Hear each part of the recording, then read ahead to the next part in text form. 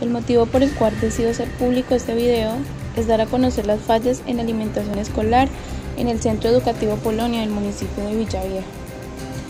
Hoy 31 de enero del 2022 fui testigo del mal estado en que fue entregado el mercado escolar, frutas y verduras en total descomposición